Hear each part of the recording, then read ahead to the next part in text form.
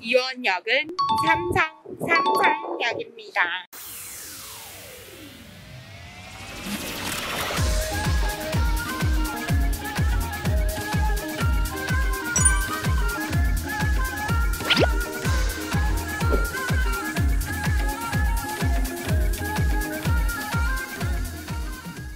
한 주간 이슈가 된 문제에 대해서 평범한 시민들의 이야기를 들어보는 시민 토론.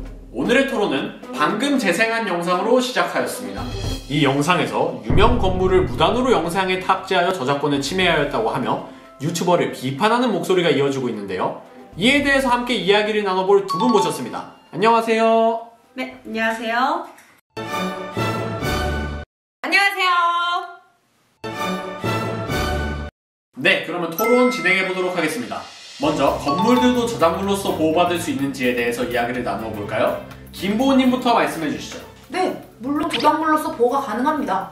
먼저 일반적으로 건축물은 실용적, 기능적 측면이 많아서 모든 종류의 건축물에 대해서 저작물로 인정되는 것은 아닙니다. 만약 실용적, 기능적 측면만 있는 건축물을 저작물로 보호한다면 실용적인 아이디어에 대한 독점권을 저작자에게 부여하게 될 여지가 있어서 저작권법의 취지에 맞지 않게 될 것입니다.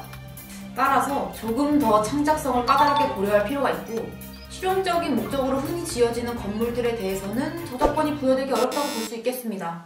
하지만 건물이 효율적이고 편안하게 이용하기 위한 실용적 목적을 넘어 저작자의 사상 또는 감정을 표현하기에 충분한 정도에 이른다면 저작물로서 보호될 수 있습니다. 그럼 김보호님께서는 이 영상 속 건물들 중에 건축 저작물로서 인정되기에 충분한 것이 있다고 보십니까?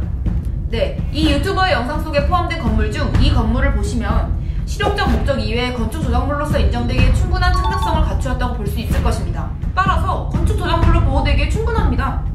오이용님, 이에 대해서 이견 있으십니까? 김보훈님께서 아주 잘 알고 계시네요. 이견 없습니다. 자, 그러면 이제 다음 본격적으로 유튜버가 저작권을 침해하는지로 넘어가 볼까요?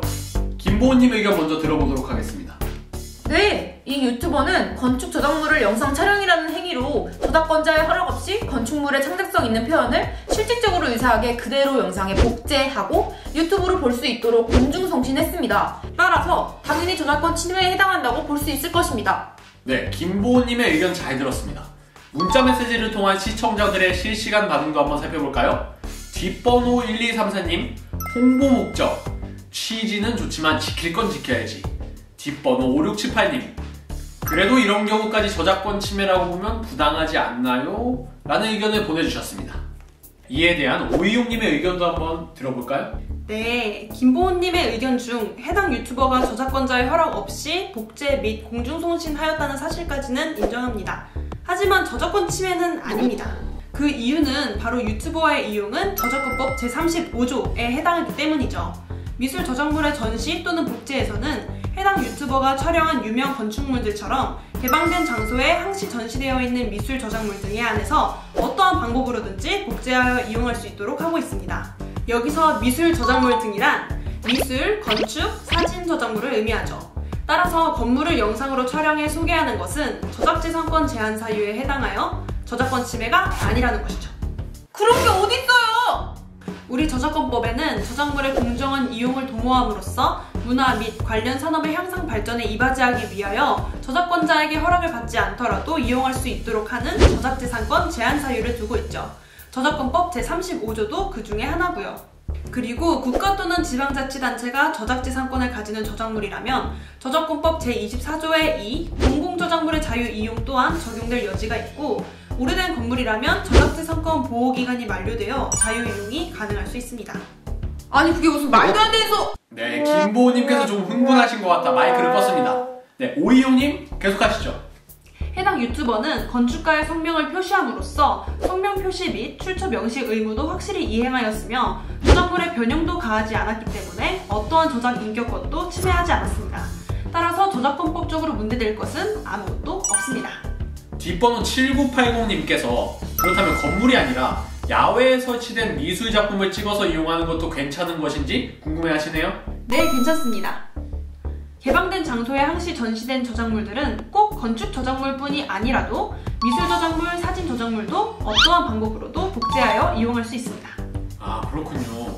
하지만 그렇게 된다면 저작자의 관리가 너무 심각하게 침해되는 상황이 발생할 수도 있지 않을까요?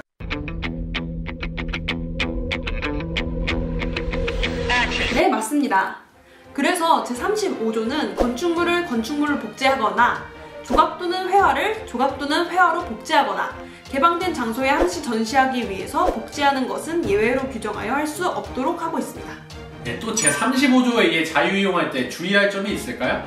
저작물을 자유이용할 수 있다고 해서 저작자의 저작 인격권을 침해해서는 안 된다는 점을 주의해야 하고요.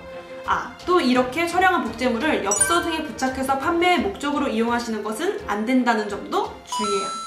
네, 오늘은 저작권 문제에 대하여 시민 두 분의 목소리를 들어봤습니다.